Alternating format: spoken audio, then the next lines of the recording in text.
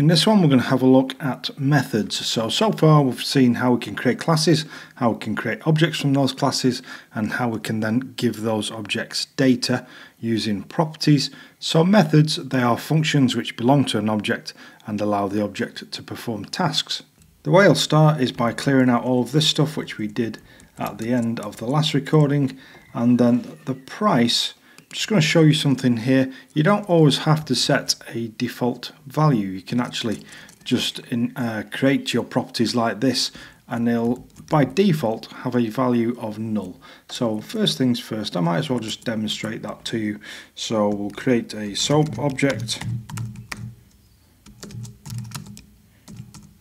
So soap object equals new product and then we'll just var dump this just to demonstrate what I mean.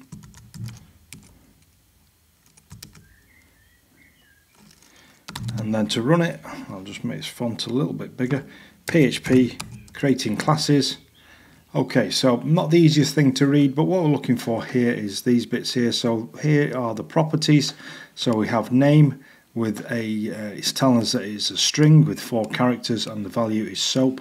But for the price, we have null. So if you don't actually uh, initialize it with defaults, then they'll uh, default to null.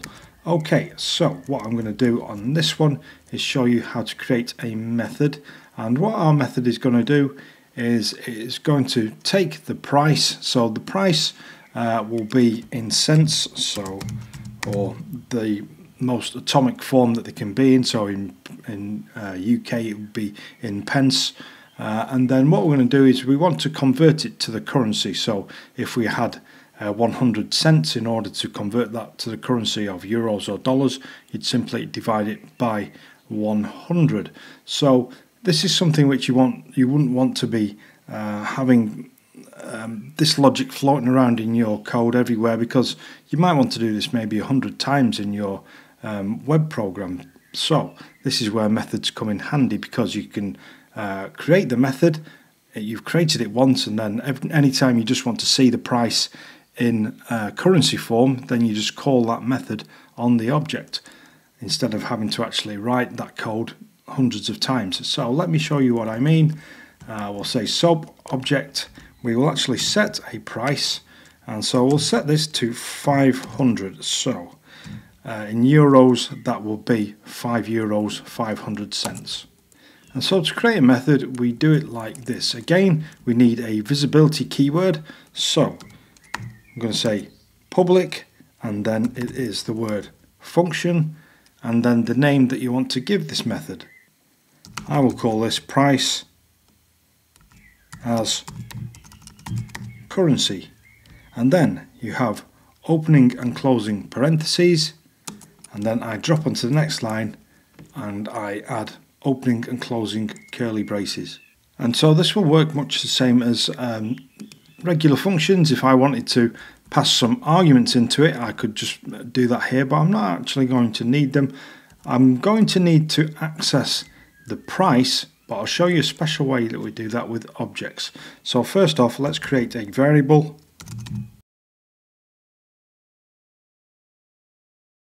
Price as currency, and then in order to access that price on an object instance, I say this and then the object operator and then price. And so this will refer to whichever instance uh, you are using at the time. But I'll demonstrate that more when we actually go to call this method. So here I'm going to say this price divided by 100. So that will take our 500 here and divide it by 100 to give us 5.00 and then in order to retrieve that value the price as currency which we've just created I just need to return price as currency. So now let's go and try this out. So I'm going to say price as currency to store this in a variable equals and then soap object and then again, using the object operator exactly the same way as what we did to set the price or to access the price, I can then call the price as currency method like so. And then we'll just go and dump this out. So var dump price as currency. And just to make it read a little bit better, I'm just going to put a new line on the end there. So this PHP underscore EOL, this constant here, if I actually go and look at this, as you can see, all it's doing is just adding a new line. So let's run this PHP, creating classes, and so it's telling us that it's an integer with a value of 5. Let's actually go and change the price to 550 just to demonstrate this a little bit better and then hopefully we should see a float value. Okay, so we get a float with a value of 5.5. So 550 has been divided by 100 to give us that value. Okay, so let's have a little chat about this. So what I'll do in order to demonstrate this is I'll create a second SOAP object and we'll call it SOAP object 2. And for this one, we're going to set the price to 650. I'll call this one SOAP object 1. So now let me demonstrate how this works. When SOAP object 1 calls the price as currency method, then this refers to SOAP object 1 because that is the actual instance which is calling the method. So SOAP object 1 price value is 550 and so that is what this will evaluate to. Whereas when SOAP object 2 calls price as currency, then this will refer to SOAP object 2 and the price of SOAP object 2 is 650 and so in that case this price will evaluate to 650 so in this one we'll still see a value of 5.5 however if I change this to SOAP object 2 it's SOAP object 2 which is calling price as currency. And so therefore this will refer to the object which is calling it SOAP object 2 and SOAP object 2 price is 650 this will evaluate to 650 and then it gets divided by 100 of course. So let's go and have a look at this one and so then we get a value of 6.5 so just to wrap up this introduction to methods the usefulness of this is, like we said towards the beginning, instead of having to write this code every time we wanted to get the value as a currency,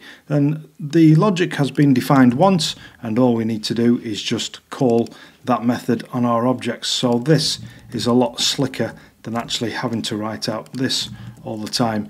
And this is a fairly simplistic example. We're just dividing a price by 100, but you might have uh, some functionality which is doing all kinds of processing and changing values on the object in which case you could have like 10 lines and you won't want to be re repeating those 10 lines throughout your code so if you have a method which does it for you which can be reused on any object anywhere in your code then it's a lot more slicker